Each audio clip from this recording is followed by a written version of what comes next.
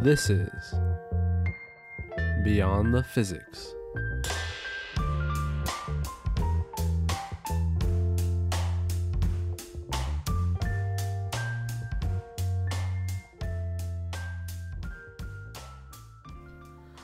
All right. Hi, everyone, and welcome to the Beyond the Physics podcast. This is your host, Joseph Guzman, and I'm joined, as always, with my co host. Irene Roman. It's a pleasure talking to you guys today.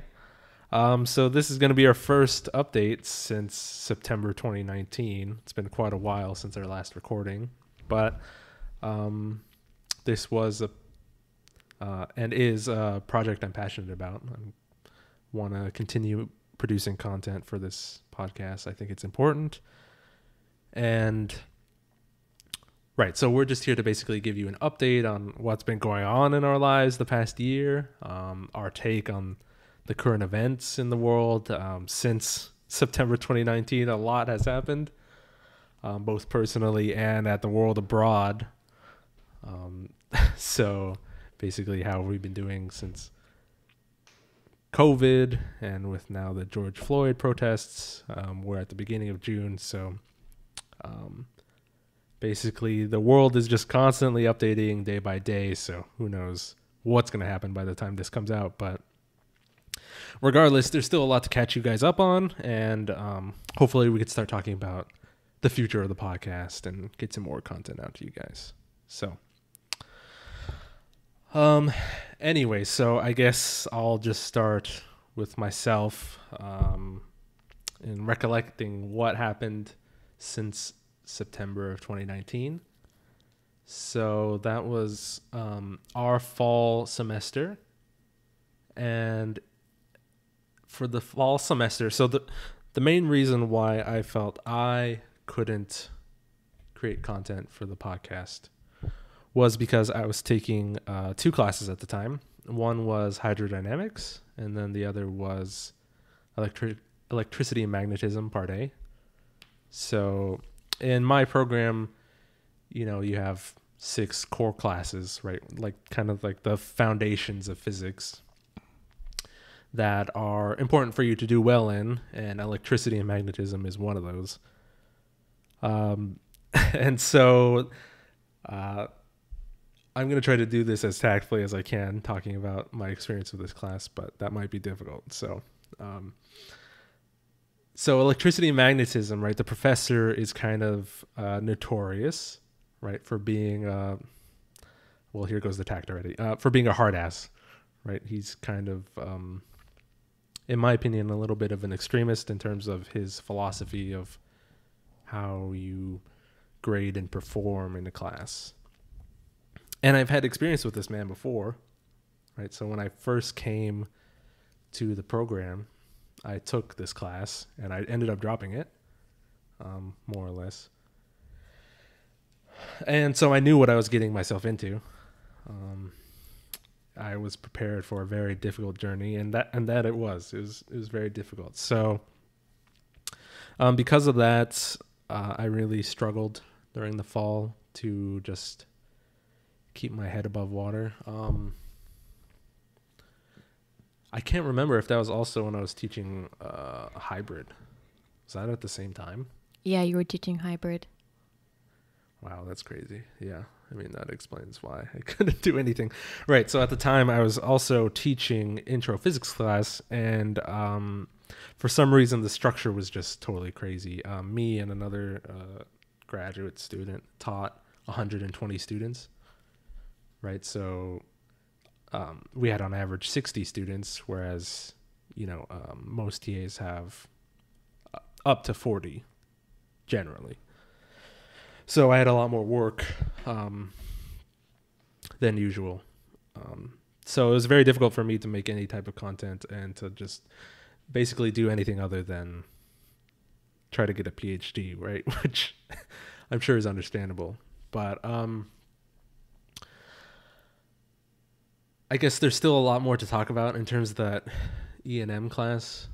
I don't know um, how to unpack it, right? Um, but basically, I'll just summarize that the experience was kind of traumatic, honestly. Um, so, like, uh, not only was it hard work, right, but I didn't do well in the class either.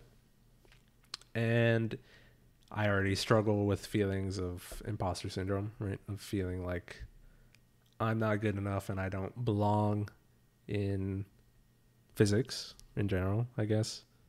Um, this is where conversations about being a minority is also important. I mean, like, not all what feeds into this also is that, like, I feel like I don't look like the rest of the people that are around me. Um, which I think does play some, at least some small role into those feelings of imposter syndrome. But um, yeah, so it was just really tough, right? The fall semester was tough. Um, basically, is just how I would summarize it, and that's why I didn't record anything. Um, I did end up doing well in hydro, um, and I ended up getting a C in electricity and magnetism, uh, part A, and that caused some drama down the line because um, for the core classes you need to get like a B average, right? And so it's difficult to do that because I need there's a part B to the E and M class which I took just last semester, um, and so that put pressure on me to do better than I did previously, right? And so we can unpack that later, but um, yeah. So I don't know if you were there to experience the whole thing, so I don't know if you have any questions for me, but Oh, in terms of how the experience for you during that class? just f- the whole fall. Yeah. Um, yeah, I mean, I think it was, I mean, that coupled with the hybrid class that took up, I don't know how many hours a week do you think you were dedicating to that class that you were teaching, and then on top of it, um, your E and M class, and then your other class. Yeah. Yeah, I don't know. Um, I did the calculation once because I tried reaching out to the um, supervisors of our program, as well as my supervisor for teaching. Um, I did calculate the number of hours I did, and I plotted it um, to present to them to say, "Look, I'm doing this much work. This is how much you're asking me. Um, you're being unfair, right?" Uh, didn't do didn't do anything. Uh but yeah i don't i don't remember the exact numbers but in my head i think i plotted like conservatively i was spending like i don't know about 20 hours a week. For what? for teaching. Oh, for teaching, and then all the others. and then probably t- probably 20 hours a week just on e&m homework alone Mm-hmm. and then uh, I don't remember how much for hydro homework. Hydro was like once every other week, I think, but that did take a lot of time. I mean, you would help. we would work together on that Yeah. sometimes, so you know how long that took Yeah. roughly. And then to try to get any research done on top of that, you know, so I'm probably looking, probably getting close to like 80 hour work weeks, I guess. What's a normal work week supposed to be again? 40. Oh, okay. So double that. I mean, I know that, you know, when you get really barely busy, you don't have weekends. I mean, you don't have nights, you don't have weekends. It's the reality, I feel, of being a graduate student. Um, and now with this online courses that we have to teach, and the course I'm teaching now, it's just like uh, we haven't come up with a good mechanism yet, and I'm not really good at kind of ta- time management and separating myself from work. So students will email me in the middle of the night, 10 p.m., and I'm responding. So Yeah.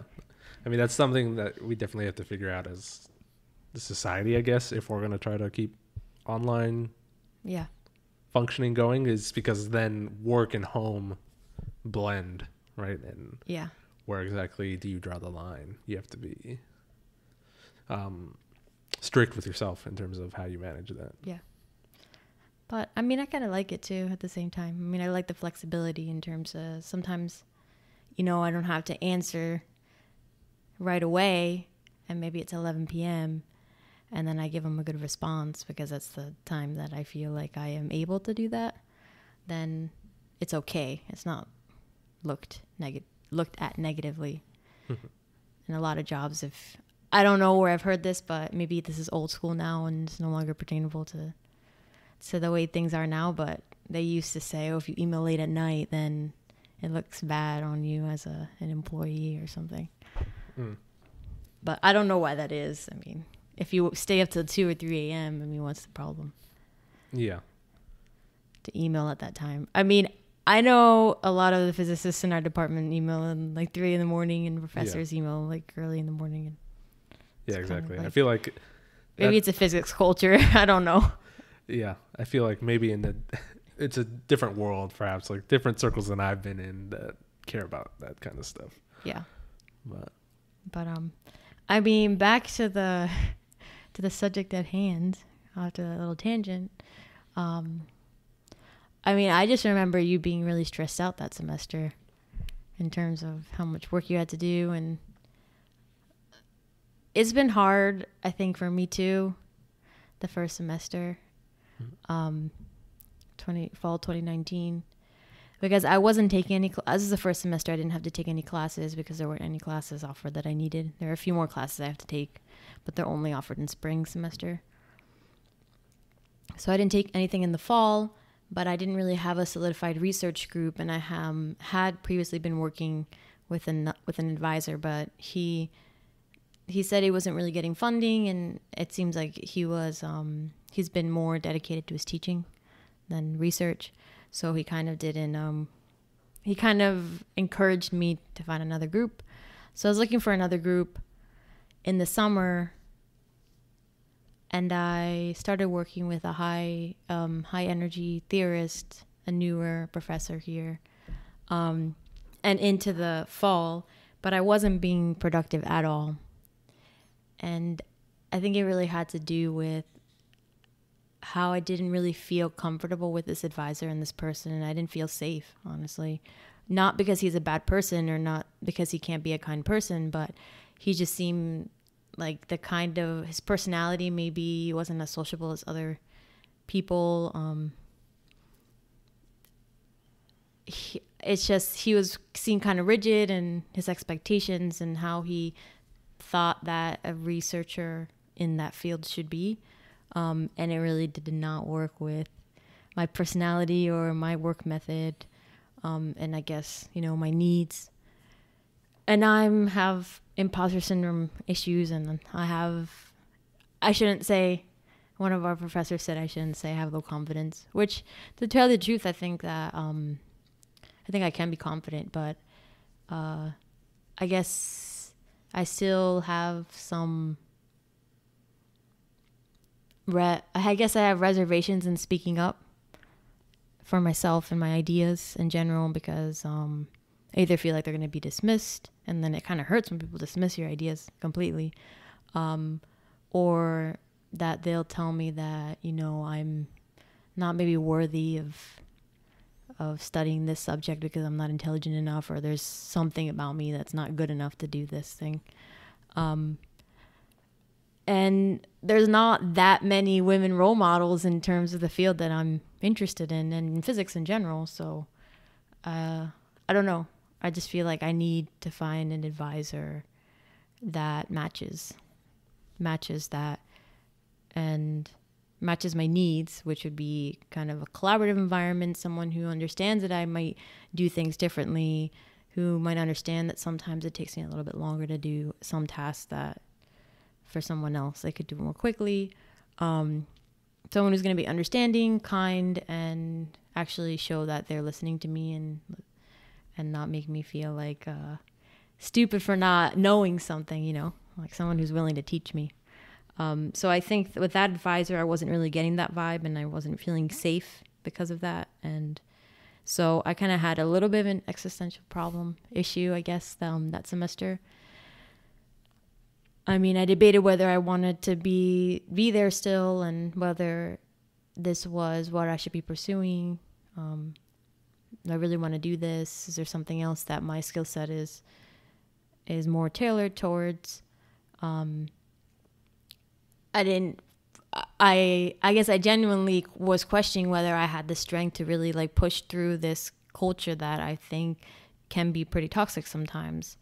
But within that culture, there are really great people who um, really you may not notice them or notice that they're there, but there's a lot of them that actually care about people.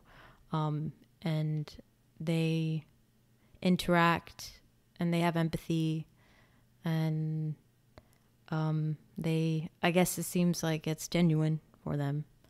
I mean, they really look at you as a person and who you are as a whole.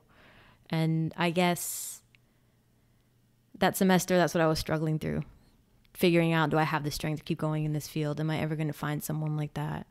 And because of professors I have met in the past, um, one of the professor that taught quantum field theory for the two semesters that I took it, um, she's a woman and she's she's amazing. I think personally, she's um, she's established in her field and she's really knowledgeable.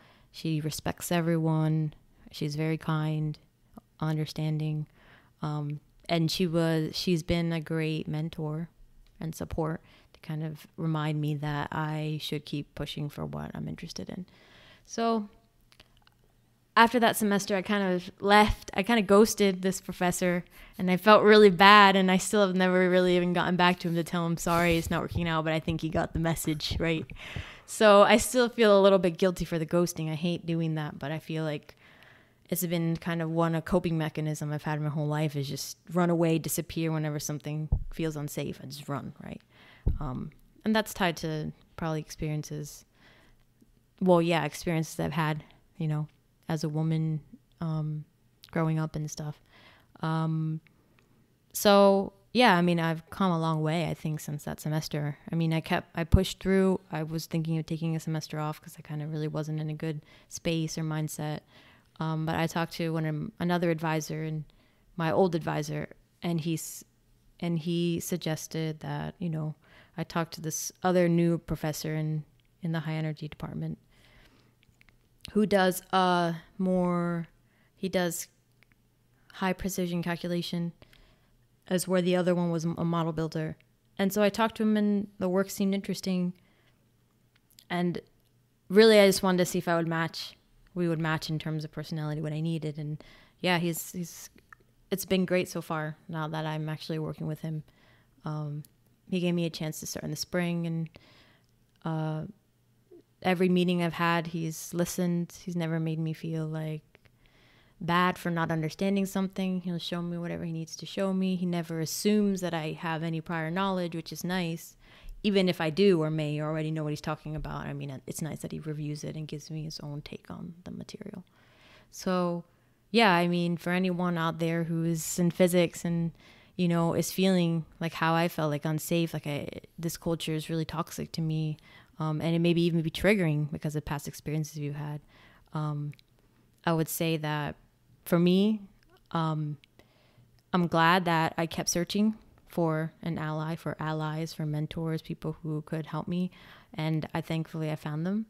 But if it's so toxic and you, there's nowhere that you can go, you can't find any allies there, then, you know, if you have to leave, that's also completely fine. I mean, you have to do what's best for you in the end. Um, but I know that I want to do this because I want to be a mentor one day to people like me who feel like they can't find a place in physics.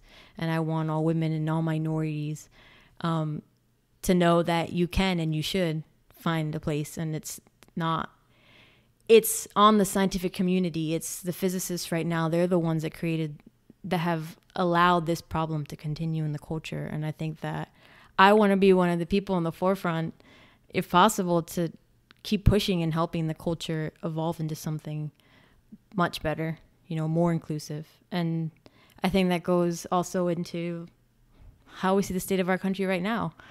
Um, we need we need people to start at all levels and just try to keep push this kind of mentality at whatever level, even if it's just with your family and just conversation, or if in some way you interact with a bunch of people, just try to listen to their viewpoints and show them that they could be be inclusive to them, so that you can show them that. Um, hopefully, they'll learn that they can be inclusive to you and your viewpoints as well. But um, yeah, I don't know. So I guess you can go tell me more about your story that I've Well, kind of. No, I mean, I, there's a, a lot of points I wanted to jump in, uh, but it's You should, yeah, you should jump on some points.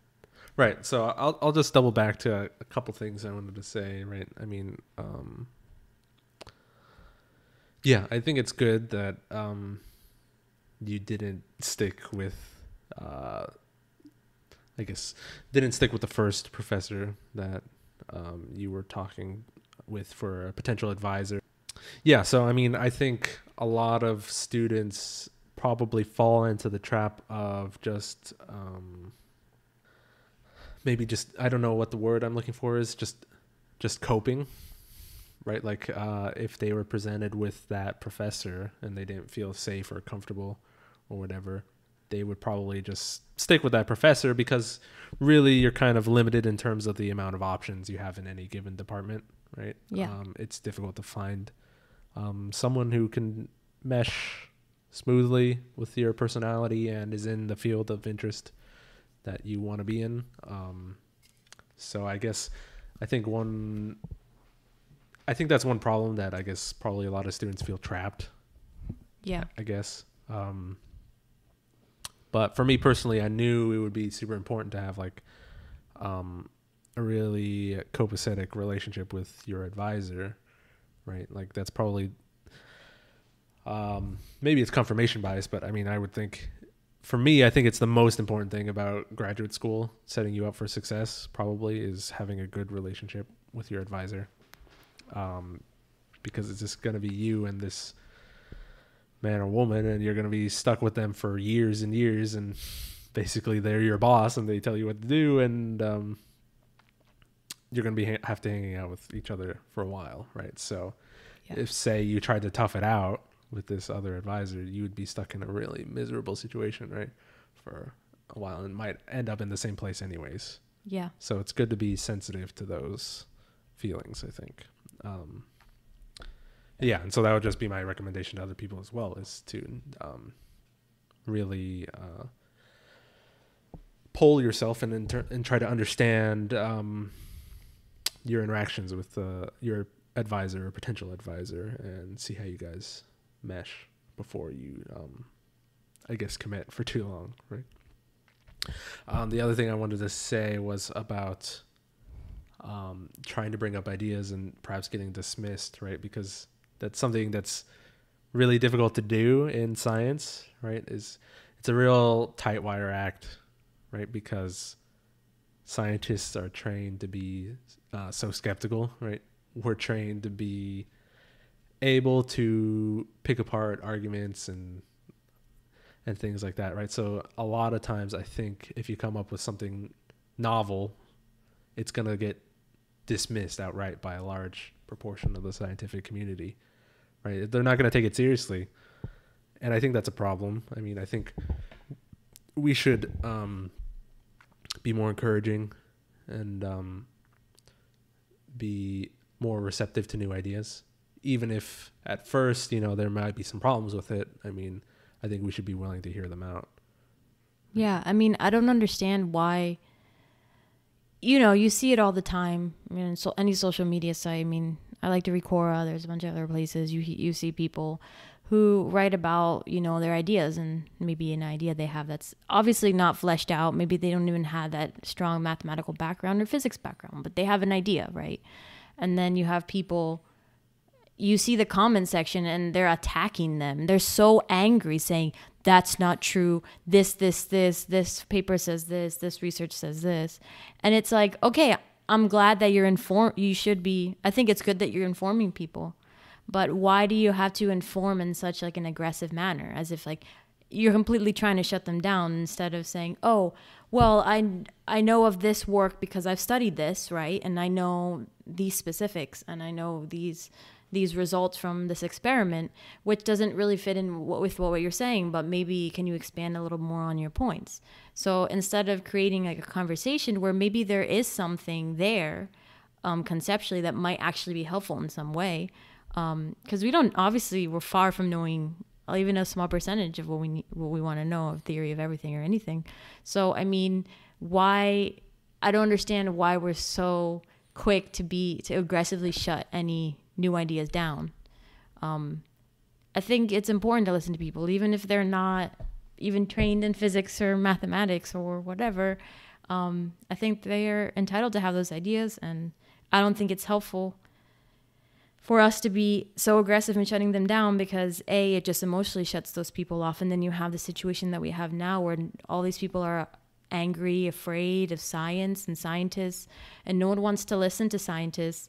And a lot of them probably think we're just elitist, right? We think we know everything and we treat everyone else like they're lower or or not as good as us because of that. Um, and I'm like, if we have a specific knowledge that we've gained, like, why would you want to why would you want to create a perception for people who don't have that knowledge that like we feel like we are above them because we are the holders of knowledge like if you have a knowledge no one someone doesn't have personally i would want to disseminate that knowledge in a way that those people can understand so that we can all now collectively under have that knowledge and then maybe they have other ways of synthesizing that with something else and coming up with a novel idea that I couldn't think of, right? Because everyone's minds work differently. Why wouldn't you want to expose the largest amount of people to the largest amount of information instead of shutting them down? Um, and yeah, I mean, I don't know how, I don't know what else to say about right. that, but maybe you can continue. Yeah, yeah. So, um, right. So, I mean, my first instinct about that is probably well one thing is that scientists have to be prepared to shut down charlatans right i mean un- yeah. unfortunately that that's kind of like our duty as stewards of knowledge right it's like having to deal with situations like of maybe this is like uh, Deepak Chopra and Gwyneth Paltrow who exploit sciency woo-hoo, right? Yeah. And take advantage of people, right? Like um, with things like quantum healing and stuff like that. I mean, maybe I will remain open minded given the context of our conversation, right? I'll I'll remain open minded about the possibility of stuff like that, but the way it's presented is clearly not at the level that should be selling people on Yeah, of course. on products or whatever, right? And they're clearly taking advantage of people who are unaware of the science, right? um, by just appearing like intellectual or something like that. So that's where a real professional needs to come up and kind of, I think it's almost necessary to be a little forceful in terms of how you correct um, the information provided. But um, to the like the case that you were bringing up of like just online forums or whatever, just talking to people who may be genuinely curious or something like that. Why would you shut that down? I agree. I think it's a problem. I mean, I I would think that it's probably just how people are raised, right? Like, um, probably how you're taught in, um, like, like taught as a child, either through the church or your parents or whatever. You get um, certain ideas kind of beat into you more or less. Like you kind of get intellectually or morally kind of dominated as a child without like um, having a real like debate or discussion as to the ideas behind it right? That you might just be taught no that's wrong. Don't do that right? Like because you know as a parent it's kind of difficult to avoid situations like that you know? Like don't touch the don't touch the stove right? It's hot. It'll burn you. Whatever right? Like no. Like as a child you might not understand you know um why that's bad without having to have maimed yourself or whatever, you know. Um.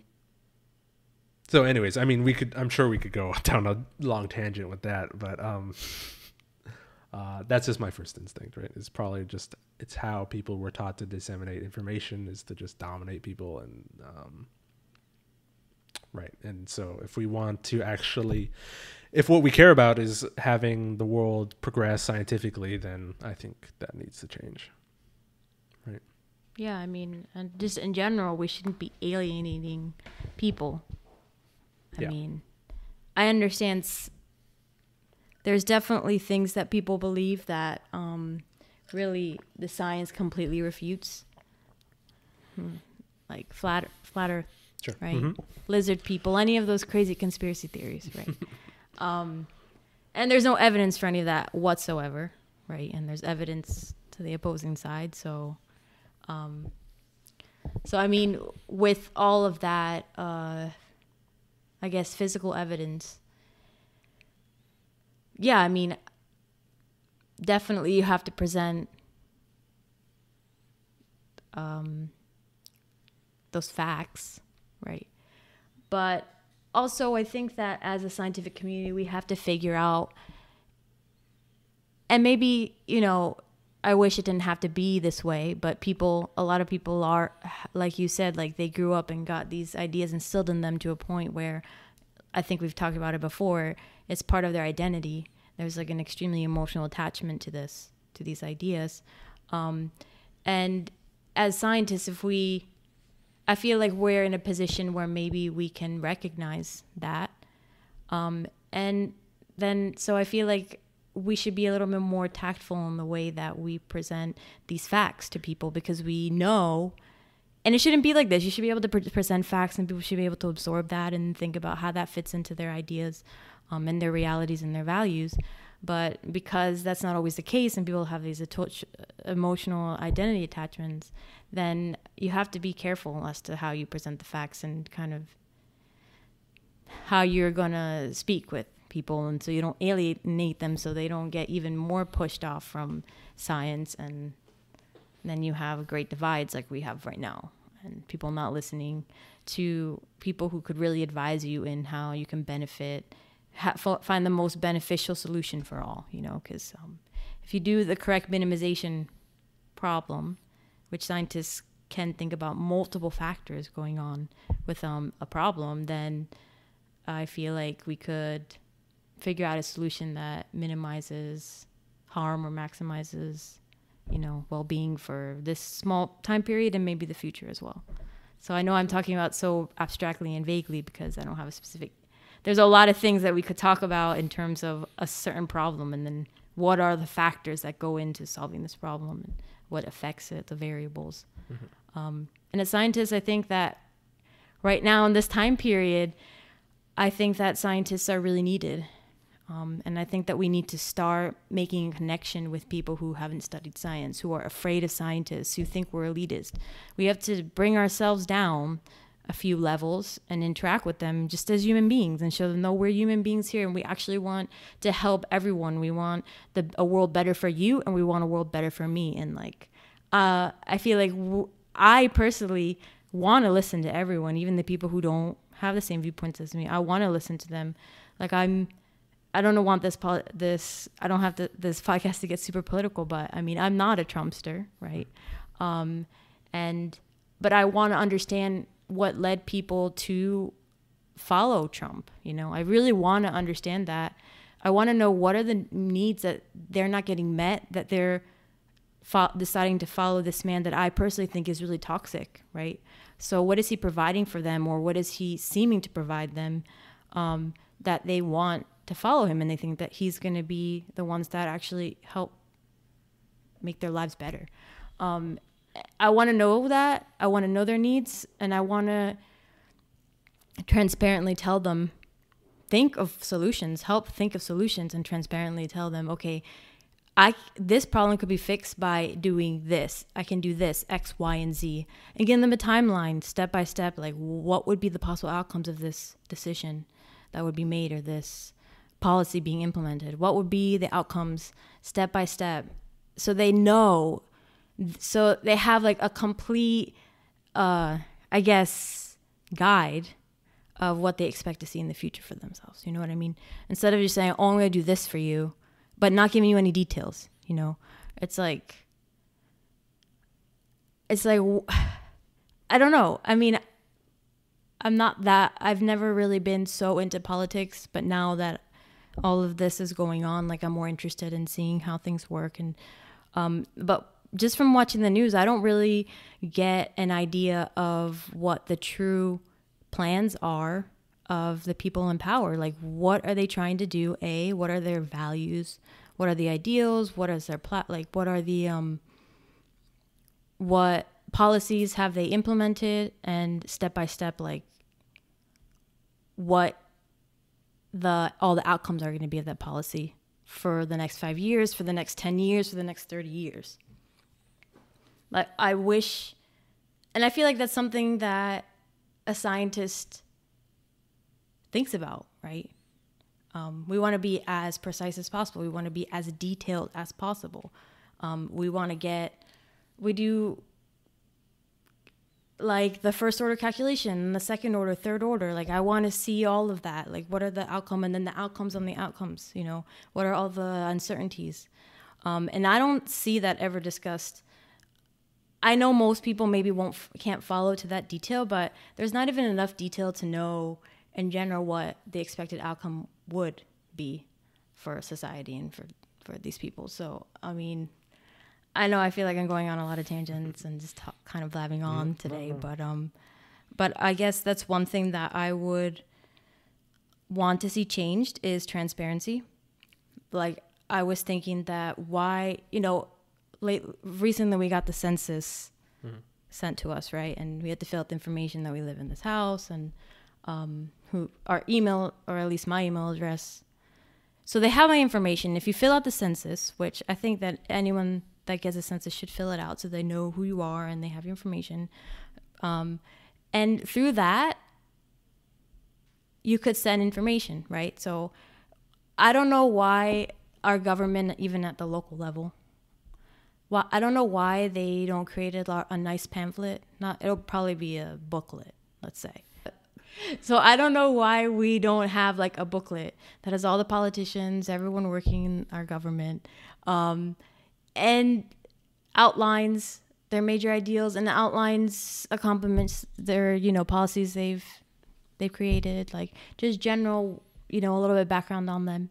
So we have information about them, like their backgrounds or their histories, like what have they done, um, and then their ideals and their values, like what's their platform, um, and puts all that information together in like a, a nice booklet. Maybe it'll be a 30 page booklet. It's probably going to be a long booklet, but it's not going to be super detailed. And then there's like a website or something where you can click if you want more details on a specific candidate. And they have this information about, I know there's a problem, not everyone is registered, not everyone is known like where they live and doesn't have access to that. But at least if you had something like this and on the government website, you could click on it and see this booklet.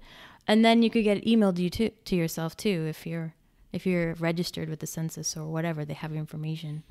Um, and this way, it's transparent. Like, who are the people that are running the show here? Like, what are what are their values? And then the candidates for future. Um, I think it's hard to get this information, and this is one of the problems. People need to be informed. It needs to be transparent. They have to be informed so that they have the ability to um, to choose for themselves, like people who they really believe represents them. And people need to be active, right, in the community in that way, I think, in voting and stuff. But um, I think that I went off on a tangent. Yeah.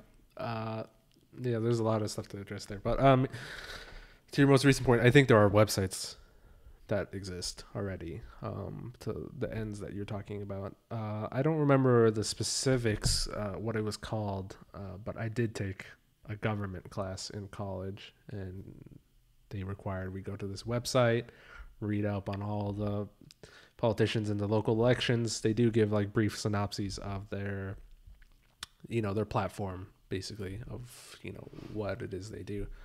Um, yeah, so I don't remember the details off the top of my head because it's been years since I've since I did that assignment. Um, but I mean, one thing it doesn't tell you is like, yeah, I mean, so just having the platform often is not enough detail, I think, to make an informed decision. Like, a lot of times, um, you know, there might be some controversy or something in the person's past that you know, obviously they're not just gonna plaster up on the on the website. Normally, it's well, like they a- should plaster it on the website. yeah, but normally it's like skeletons in the closet that like you have to really go digging deep. Well, they should put the skeletons. Someone should be in charge of making this, putting the skeletons right there for everyone to see. the implications of that seems pretty difficult to enforce and uh, would be kind of scary to um, actually do, right? Because then you're basically saying that these people don't have a right to privacy, right? I mean, people shouldn't have skeletons, right? But um, how is it that you get those skeletons out? What do you mean? How? Like how you find them, or how you? Yeah, Yeah, I mean, you might not know what they are. I mean, I don't think that that the skeletons are as. I mean, it would be nice to be able to have that information about someone who. It's like once you're running to, in a way, you're representative of this large group of people. I mean, it's a large responsibility, and I myself feel like. If I if I chose to want to represent someone that, um, it would be valid for them to be able to know the skeletons in my closet. That's how I feel. Like, I mean, Yeah, and I guess the other thing is like the sensitivities of the culture around us changes constantly. So what we perceive as a skeleton now might be different in the future. yeah. Right. Like I'm thinking of Justin Trudeau, the Prime Minister of Canada, who was caught uh you know, he had a picture circulating around Twitter like months ago. Um because he went blackface to a Halloween party or something.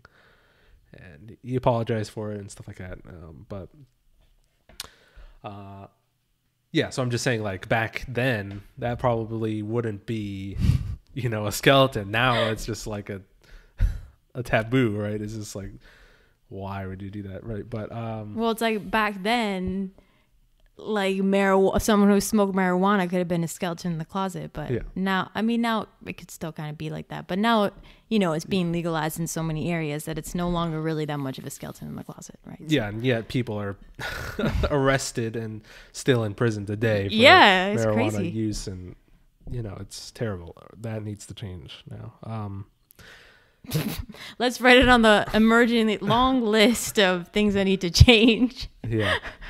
Yeah so um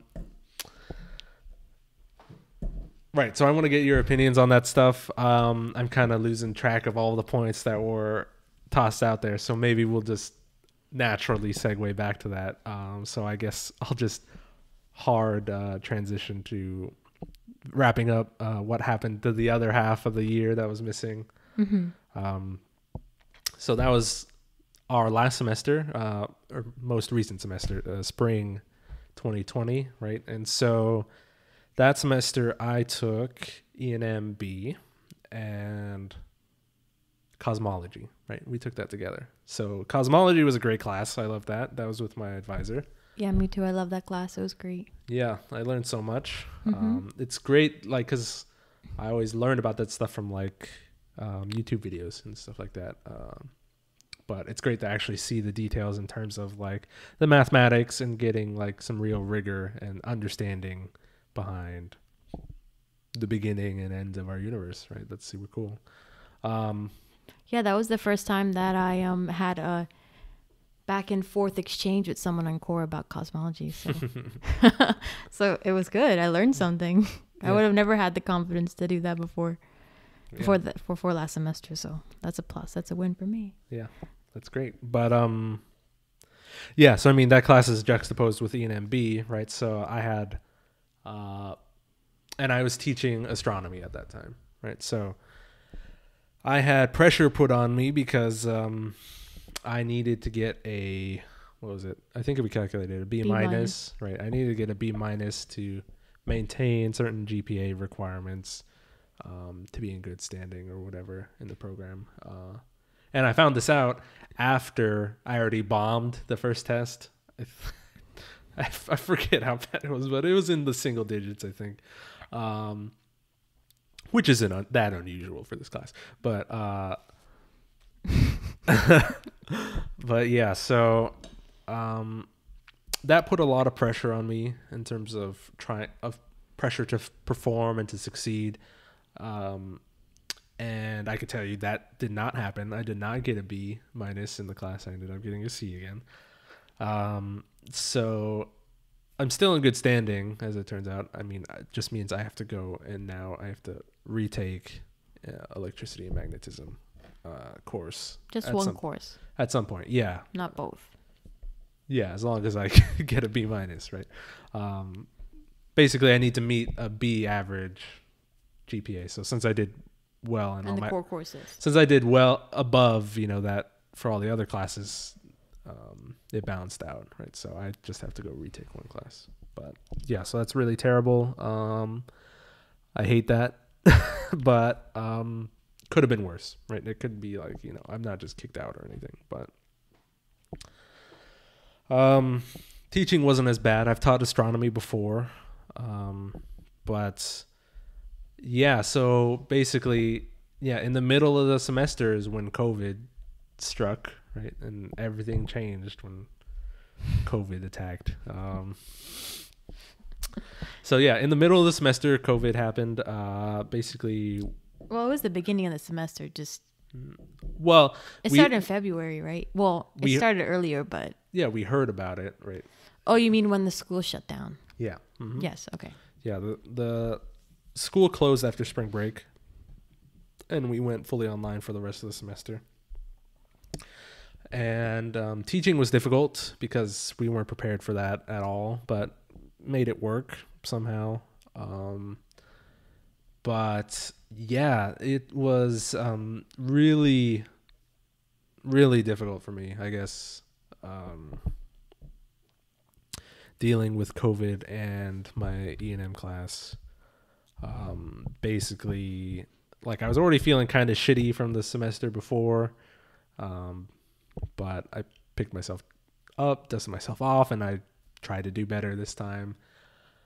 Uh, yeah, so I made some mistakes in terms of choosing my classes, I guess. Um, but yeah, so once COVID hit and I was stuck at home and trying to do well in these classes and it didn't pan out, um, my motivation tanked. Right, I felt, I felt terrible.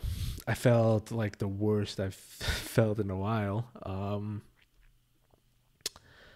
yeah, and my imposter syndrome was just through the roof. Right, it was just like, um, it really felt like the end of my physics career. I mean, it felt like, yeah, clearly I don't deserve to be here. I'm not made out. I'm not. Uh, I'm not. You know what the department or you know what physics needs. I guess I'm not fit to be here. And so I really considered quitting. Um, you know, and that's a shame because you know we just we've finished most of our classes. I have one I have one more added onto that list now. Um I think I have four left now. But um yeah, so that was really shitty. It was a really shitty time. I'm still not completely over those feelings. I haven't completely worked them out, to be honest. Um uh, but I'm feeling a little bit better. I guess since I've started preparing for the quals, the fact that I was able to solve any physics problem whatsoever was comforting. uh, but yeah, so I mean, it's been a real roller coaster, right? Because like in terms of my confidence levels, right? Like, um, it's been real up and down. It's kind of like the Dunning Kruger effect, or whatever that plot is of like your confidence versus your experience, right? Like reaches some high peak and then it plummets once you have a certain amount of experience and then it slowly creeps back up right. Um i guess last semester was my plummet. I don't know. Um i felt like i really didn't know anything. So yeah so it was a dark time for me. I mean it's still a dark time still a dark time for the country in general right? Um and yeah on top of that like I don't know, like the fact that I wasn't doing well in physics and the fact that the country was uh, suffering and that there was uh, such a bad response from our our government and um and I felt like with my training and stuff like I could at least make an impact like somewhere anywhere. I could do anything else and positively impact people's lives. And yet here I am suffering for what right? And like you know I worry about you know my dad and um you know he has to go out and and see people now. And you know i feel like he's in that risk community you know has certain comorbidities that that make me worry about him right? And like why am i not helping my family or you know stuff like that? And so um i guess i felt guilty um for doing a phd felt like a selfish feels like a selfish thing, um, or felt like a selfish thing at the time. And so, yeah, COVID um, did not help my mental state. Really, it only kind of worsened it. And so, um, my advisor, bless his heart, I mean, he said stuff like he's been more productive than ever because he doesn't have to deal with people or, you know, all the bureaucracy stuff and you know that's great for him. I'm glad he's been productive and stuff. Um, I don't know if that's still the case, but um, yeah, it wasn't for me. So, anyways, I th- I don't know if you have anything to chime in there. That's pretty much what I had to say on it. Yeah. Um, yeah. I mean, it was hard for me when all of this started happening. When and just seeing how our government just kept fumbling on a solution for us, right? Um, there was no consistency. It was as if he pulled pieces from multiple COVID plans, you know, multiple ways to combat the pandemic. And he just pulled pieces from here, there, and everywhere. And collectively together, they didn't, they weren't a very good plan. You know what I mean? Like, and to me that was frustrating to to really think there was a much better way right and that no one was listening to the people who not that no one was listening because people were listening right um, but not everyone i mean there wasn't a collective strategy right because our the head our federal government wasn't unified and like helping our country be unified in a solution that made scientific sense. Um, so it was hard to see that, and it was hard to concentrate on doing work when you're every day seeing the death toll and um, not just in the U.S. but in the whole world, and seeing how how large this is and how how this pandemic has shaken us on a lot of different levels in our country and in the world um, and really seeing how unprepared we are. And um, that's exactly why I say I think we need sign more scientists um, running this country because you'd be able to see, you know, multiple orders, I guess, in the future of the possibility of effects of the thing, of the decisions we're making now, and care enough to do that assessment and see how and know how important it is to um, trust and listen to people who um, are specialists in things that you are not specialists in, right? Um, but it's frustrating because for me specifically because I like I felt like why am I here? Like you said why am I here doing trying to get my PhD when there's so much that needs to be done immediately right now to help this country um, so that we don't fall apart? It's it's it's like uh, such anxiety it gives me so much anxiety to see what's happening and not and feel like i'm helpless because i it's like i have ideas and i feel like i want the best for people in general um, and to see that so many other people who are in power, who have the power to do things, don't share that same value as me. Um, it's so frustrating. And um, yeah, I mean, it's hard to get work done. Just as hard to get work done. And I mean, as the time's going on, going on, and yeah, COVID is still a real part of our lives, and it's going to be for a while now because of the decisions we've made. Um, we've decided now basically just have COVID around for an extended period of time, right? We didn't make the necessary, and it it's the whole world too wasn't obviously unified and collected in their response either, um, but we as a as a planet are not ready for this for these things. I mean, we weren't ready for this pandemic. We can't even work together, let alone like have a considered effort to cut this off at the beginning so it can't proliferate anymore, right? Kill it off. That's that would have been the best situation if we could have organized the whole world to just kill it off.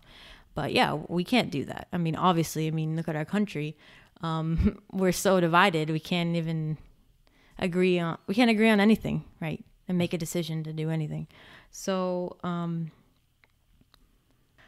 yeah, so it's kind of like these thoughts that kind of overtake me, and I'm sure have overtaken you too. It makes it hard to do work. So, it's it's it's weird to have to go to work. I'm sure go to work, or you know, us go to school, teach, try to learn, try to do a PhD in you know some kind of really niche area that doesn't seem to have that much application to the real world right now, um, and how we can help it yet at the same time, at least for me, like really wanting to do something to just make it go just stop this like implement good policies um and i don't have any power to do any of that right now um at least it, it seems like that but i know there are things that we can do and that i've been thinking about what i can do to help some um, even if it's just you know obviously voting and speaking out to our representatives sending letters about my ideas or possible things that could help. And if they want to listen to it and think about it and talk to other experts that would that would be fine. Um, so i'm going to continue doing this because i know that eventually having this this accomplishment um, this the phd i think will be helpful in general my journey. Um, and so I want to continue it and I want to finish it. Um, and I'm going to try to, at the same time, make changes and try to help, even if it's just in our university, helping me change there first. Um, and then maybe that can expand, right? Yeah. Keep going outward. Yeah. And I mean, I, I just want to put it out there. You know, almost doesn't need to be said. And I'm sure I could probably speak for you on this on this point too. But I, I mean, I also recognize I feel very grateful for the position I'm at now. You know, right? Like I'm, I'm very grateful that, you know, although I worry about my dad, he's not sick yet. I'm grateful that no one I know in my family is sick. Right? I'm grateful that I haven't been laid off. Like the university is still teaching. I have to work with figuring out everything online, but you know that's a minor inconvenience compared to you know being laid off or having to deal with unemployment and stuff like that. So I'm very grateful for the position I'm in, but that doesn't you know take away the feelings of helplessness and you know wanting to contribute to the to making you know to easing the suffering of everyone out there. You know? Yeah, yeah, of course, definitely. Yeah, so yeah, it's tough times, right? I mean, I've been putting a lot of this energy into the lab, the class that I'm teaching now. I've been teaching with the same professor, a studio style physics course for, um, you know, non physics majors, which is the, the first course and the second course. The first one's like classical mechanics, and then the second would be electricity and magnetism. Um, and yeah, I mean, I think that we've been doing a really good job in terms of putting this course online and then also really taking the input of the students and saying, okay, how can we make this a better experience for you? And um, I think it's giving me practice in how to write information in a way that people can understand. Like when we when I was telling you told me there's information online, right, about the candidates and so on. But it's hard I haven't even found this website, right? So it's like, yeah, maybe I'm not searching hard enough, but I do search and these this information doesn't seem that readily available. And for people who don't even really know how to do these searches or are not at all um, educated, I guess, I feel like this information is not nearly close to being accessible as the way that it should be for everyone. Um, and in writing and in creating the material for this course, it's made me realize how important it is just the way that you represent the information on the page, the way it reads. Yeah. If you don't represent it in a way that reads logically consistent, then it's harder for people to absorb the information. Um, and I think that's just something I mean is just to rewrite all of this information in a in a way that is cohesive and it's collected, right? Um, and maybe it's something that seems like a little detail, but I think it's actually really important to kind of uh, be able to convey information in a way that people can absorb. Um, and people do it all the time on YouTube and, you know, on all the social media. People are, I mean, especially YouTube, people do a really good job, I think, of explaining information. And I'd like to see that move towards um, the more conventional um, arenas as well, not just the social media. Because there are older people who are not as immersed in things like YouTube and uh, Facebook and all that stuff. And those are people who aren't getting information maybe as easily. And now also there's a big issue with the manipulation of information um, on Facebook and all these. So and um, and misrepresentation of information, right? And then now you have all the bots faking to be some people, and like coming up and trying to manipulate people into believing something. So I don't know. Sometimes I don't know where I was going with that point. So we could you could go on. I'm a little bit awkward now. I haven't really been socializing much since COVID started, so No, that's okay. Um, I guess I'll keep the truck moving and just hard segue again. Um, yeah, just hard it on. Erase that. okay. Wait, Um, pause. no, we're keeping it, but we could get rid of it. It's fine. I'm joking. But um, hmm like Darren's gonna want to take Yeah. stuff off. anyways, um, right. What was I going to talk about? Okay, right. So I mean, I don't, I don't want to make it seem like, um, well, I don't know. Um, I feel like it deserves some words, right? And I want to do it, uh, do it justice, but I don't want to, you know, give the wrong impression, I guess. But um, I feel like we- we should at least say some words about what's going on with the country the past week and a half now with the George Floyd protests, right? Um, Yeah. I'm sure. I don't think I even need to go into the details of the incident that happened that sparked the protest, but um, maybe just uh, what we feel about the protests, um, what we hope comes out of it. I guess like the most what we think would be productive for the country and stuff like that, right? So yeah, I haven't really clarified my thoughts on this too much, so um, bear with me, I guess. But I guess I am really proud, I guess, that um, the American people, you know, my generation and the generation after us have chosen to stand up and take a stand for what's right.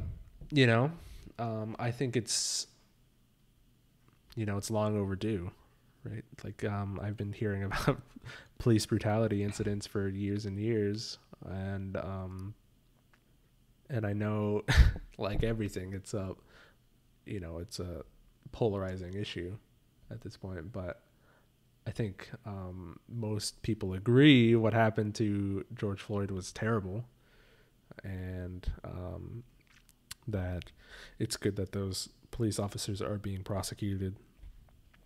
And I think it's important that we, as a country, stand up and try to exercise our First Amendment right to try to make some change so that, you know, um, police brutality isn't something that's just institutionalized and accepted, right? Um, I don't think it's. I don't think it should be controversial to say that that is bad, right? That um, that this needs to change. So I don't know if you want to jump in. If there's anything you want to say. Yeah, I mean, there's a lot of things that I could say, I guess. Um, yeah, I mean,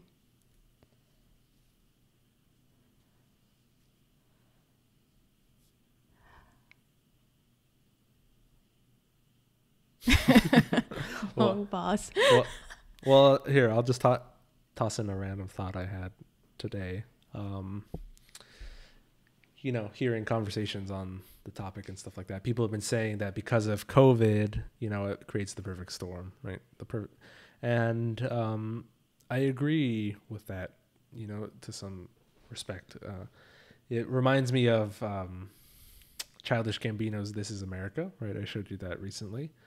Um, one of the message I took away from it is that you know when some type of atrocity occurs and people become outraged at you know um, like gun violence or police brutality, etc. Right, um, and there is some national outrage about it. People get distracted. Right, people get uh, you know some new media craze comes out and uh, people forget all about it. Right and we happen to be in the position when everyone is forced to be at home watching this happen right? They can't watch their sports right? There's no nba there's no there's no hockey there's no whatever right? And so now people can't be distracted from the ugliness that is in our country right? And finally it gives them perhaps the you know the focus to um, address an issue that's been plaguing our country for decades. Yeah. I mean, and also the fact that a lot of people don't even have employment Yeah. right now, too. They don't have to worry about getting whatever job they have to get done. So, yeah, I mean, all of those things, like you said, give the opportunity to really be focusing on this issue. And thankfully, they're, we're speaking out, Mhm. right? Um, it's just sad that it seems like I mean our government at large right now isn't listening. Um I think that I don't know why they I mean the tactic that they've used they've chosen to use, which is basically more aggression and more violence towards the protesters. Um is only going to make the situation worse because we're asking for a change in the policies, right? Um, and there's no talk really of what those changes will be. However, yeah, I think in more local and more state level, I think some. I don't know if you can give me a little more detail on that if you've read about this or not, but that there are some proposed changes um, to like the police force, maybe in Minneapolis. Um, but I think that I'm just I just I just don't know why why it's taking so long, right? It's so long to kind of empathize and with this really justified anger um, and say, yeah, I mean, you're right. Like, this isn't okay. And we need to do better. And let's come up with a solution together. Like, where you see the police kneeling down with the protesters and walking with the protesters, I'm happy to see that. I think that's a good, like, I think that there should be more protests around the country like that instead of the, the police, you know, literally injuring peaceful protesters. Like, I, there's so many videos online now. It's crazy, right? Um, and I don't even know if they're being prosecuted for what they've done. I mean, it's really disgusting to see some of those videos where, you know, this older man recently is in critical condition now, but stable, thankfully, from New York, Mhm. right? And how can someone who's supposed to be protecting the people um, he, peacefully protesting, I think, going up and trying to have a conversation with this police officer, he's yelling aggressively, pushes him, and then he hits some maybe some statue or or the cement, hits the ground. Yeah. hmm and then he's just bleeding, bleeding out. Like what was it? He injured his ear, He's bleeding out of his ear. Yeah. and um, just police officers just walking around him like no big deal, Yeah. while he's on the ground, right? And that's just atrocious. How can another human being see that happen and just let it continue and you keep on your way marching and, and trying to push off more protesters, peaceful protesters? So, Yeah. Yeah, I mean, and there's case after case after case of this, right? And it's really, um, yeah, it's disgusting. I mean, yeah, the, the, the, yeah, the ironic thing about it is, right, this whole, the whole reason these protests began, right, is because of police brutality, right? And then the way they respond is with more police brutality yeah, exactly. like as if that's supposed to contain the situation at all right like if people are paying attention you know in the slightest they will not you've just given them so much gas to the bonfire that who knows when or if it's ever going to stop right like it's um yeah the response is mind boggling right from state local and federal officials right it just really makes no sense whatsoever. Um, yeah, and so I guess to tie it to like the goals to the podcast, right? I'm seeing like a just an overall trend of like what I want to see for the world is just like in physics, I want scientists that are also empathetic. Right? It's not I want a welcoming community. That's all I really that's that's my vision for the future, right? And you know, I don't think I think that should be true of the government as well and the and police and state and local officials. Right? I think um it's their duty to empathize with their people. Right? They should be able to they should be able to understand and empathize with what everyone is feeling. And clearly, the president is not up to the task on that. Um, he's too busy protecting his own ego, right? So, yeah. yeah. Anyways, I mean, I know you said you didn't want this to become a political podcast. I mean, it's fine to trickle in a little bit if, if it's, it's irrelevant, right? yeah, no, I like I said, I think it's important to at least say a few words. Yeah, this. of course. Um, I mean, but like we were watching um Eigenbros today mhm. and you mentioned that it's not real it's no longer really a political issue, right? It's Mhm. a social justice issue or like I don't know, social issue. Mhm. What I don't know what the word what exact words did he use, do you remember? I don't know. Social justice warrior? I don't know. Yeah, but um yeah, I mean, at this point it's be- it's I've never like I said, I've never been like super involved in politics, which I think is is kind of a mistake. I feel like I should be. I think it's important. Um and but this incident because I think it's such a violation of just rights Yeah. um, that I I guess it's kind of sparked the fire in me in in being interested in doing a little bit more learning about uh, what's going on and finding ways in which I can try to make a change for the community at large, right?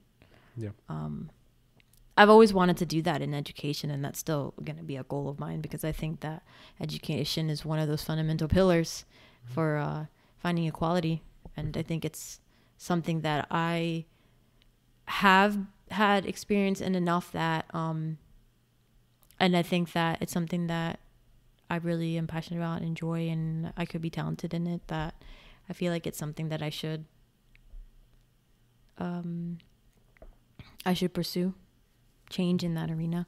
But I want to find other ways as well, other avenues that I can also assist, right? Being a scientist, and I'm uh, like I've said like three times already, I think that, yeah, we need more scientists in politics. We need more scientists like running the show here because uh, we're literally destroying our planet. And this isn't a joke anymore. This is serious. Um, we're, we're just, we're destroying ourselves. Like, yep. um, and, there's no need for the kind of division that we have. Right? We can all get our needs met. We will have to compromise things, but it's not going to be to the point where you're going to live a terrible life, you know? I mean, I think I know I'm an idealist, so anyone who reads like, you're an idealist. But I mean, I'm fine with you call anyone calling me that because I know at least if I keep this idealism, I'm gonna always want to fight to make the world better for people because I always have um, being an idealist. I always in my heart believe that people can be better. So I'm never going to dismiss anyone saying you're rotten, like you can't get better.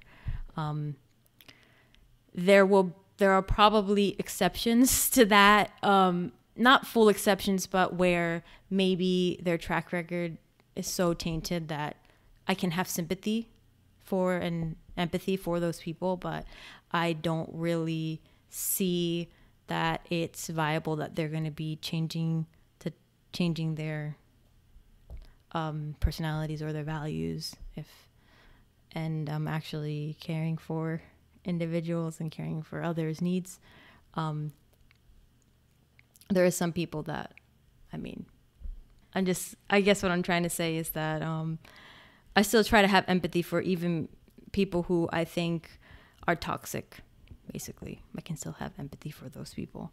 Um, but I think at large, there's at least a much better way to do things where more people can be reached and more people's needs can be met than the way that we're doing them now. Um, and I think that scientists could really help along the way. But in the scientific community, as far as I know, specifically in the physics community, there's still work to be done in that particular culture, as we've talked about a lot.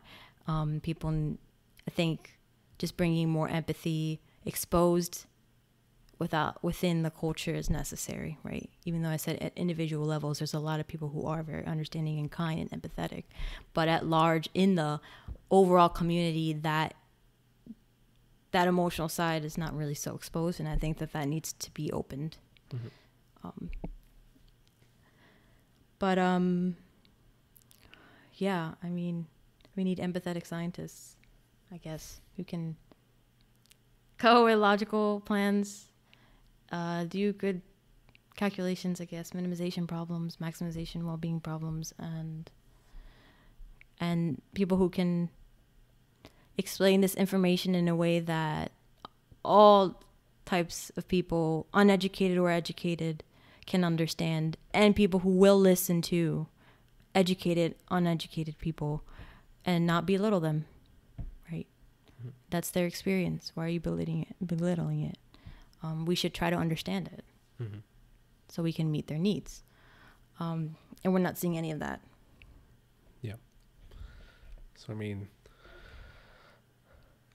right. Okay. So, um, I feel like I go. I just keep like word vomit sometimes. Right now, I I know it's been a while since I've talked on ca- on. It's not on camera, on recording. So I'm a little nervous. okay, That's we'll okay. keep going. no, it's well spoken. Right. So um. Um, right. So I was just, I think, um, thinking about like concluding remarks. Yeah. Um, yeah. So uh, just our plans for the podcast in the future, right? Now that we've got a update in the tank, right? What is it that we would like to do? Well, what is it that we hope to bring out to the people? Any ideas? Me? Well, I think today we've talked about a lot of things, and I think I've talked about them really abstractive, abstractly, and um, I haven't said any like main points or main solutions or ideas, right? Explicitly. I think it would be interesting to tackle a few maybe of these topics that we've discussed today in a little bit maybe more detail and maybe some possible ideas we think and then you guys could maybe give us some feedback on what you think and any ideas on how you would tackle the current issues that we that we have going on in the country right now. Um, because it's important to not just say, you know, this is bad, we need to change it, but to come up with solutions. I think we need to mobilize. I think that we have a lot of good ideas in general, this everyone in this movement, but I think that what we're really missing is the actions to get this done. We need organization and we need leaders um, who have connections to kind of push this through. So um, I think I'd like to talk a little bit on that, and I'd like people to contribute if they can. And on the side of less, on the side of, I guess, philosophical projects, um, I'd like to, you know, include a little bit more debates on topics like consciousness, mm-hmm. free will. Mm-hmm. Maybe have a series about that. We can invite our good old friends, Eigen Bros, Second to fight it out. Dropped, ding, right? ding, ding. We got name dropped twice. Right. So check out Eigen Bros at YouTube. Mm-hmm. Some cool dudes. right. And then I don't know if you still have hopes for the imposter syndrome yeah podcast, mm-hmm. right? So, I mean, we've already talked about it um, a little bit. Our experiences with imposter syndrome. Uh, we were hoping to do some more creative aspects with that, like have some maybe poetry or just like written word, you know, prose, whatever, um, like live readings of it. Um, now might not be the time, but just something to put on your radar is, I guess I'll put out one call to action is like if you could send us um, any writings you'd like us to read on the air about your experience with imposter syndrome, um, we'd be happy to check it out and you might get featured on the podcast. Um, and if you're interested in jumping on and giving us the live performance, I guess you'll have to reach out, contact us, contact us at our uh, email provided.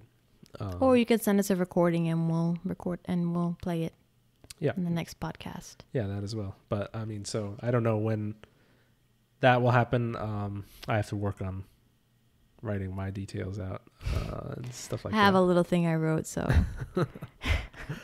right. So, but we'd love to hear from you guys. I think that would be a great collaborative project to to have. Um, and depending on how that goes, I mean, I think it would be nice to just get people to write about anything that you know really causes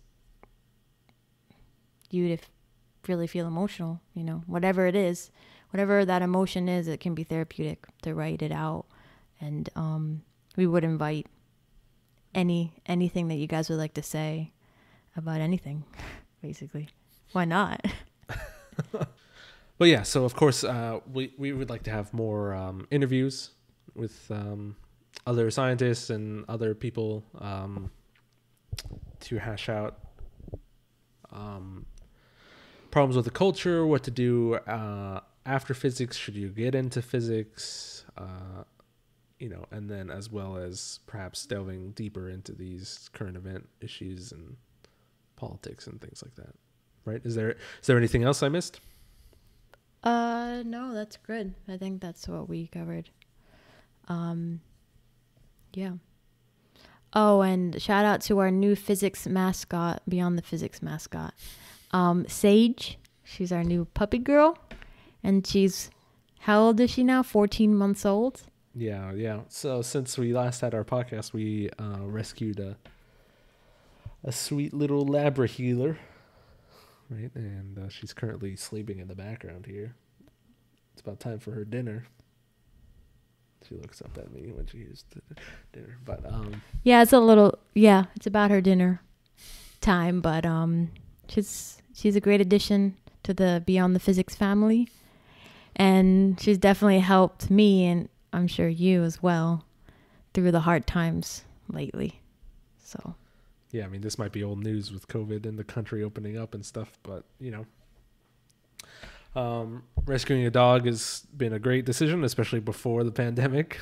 Uh, you know, if we're trapped at home, at least we have some animal companionship here. And um, I'm sure if there's any animals currently in the shelters now, you should consider uh, rescuing and um, giving them a place to stay.